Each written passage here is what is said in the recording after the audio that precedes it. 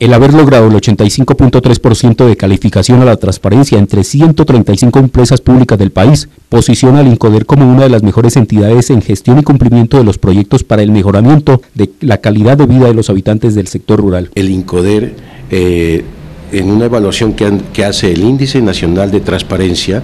mm, calificó a la entidad